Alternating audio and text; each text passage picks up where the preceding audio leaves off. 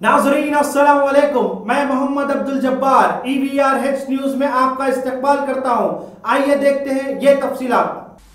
जो दर्दनाक और इंसानियत सोज वाक़या उन्नाव में हुआ, जो फिर से उत्तर प्रदेश सरकार की मुसलमानों से नफ़रत की एक जीती जागती मिसाल है और उत्तर प्रदेश पुलिस की तरफ़ के, की तरफ़ से एक क्रिमिनल बिहेवियर की एक और मिसाल है। उसको उन्नाव की पुलिस ने मार मार कर उसकी जान ले ली, उसका कत्ल कर दिया।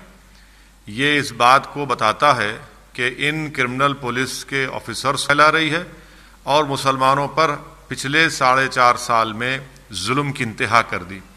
मैं योगी आदित्यनाथ से पूछना चाहता हूँ कि अगर इस लड़के का नाम फजल नहीं होता और इसका नाम विवेक तिवारी होता तो आप क्या करते? आपसे सस्पेंड करते।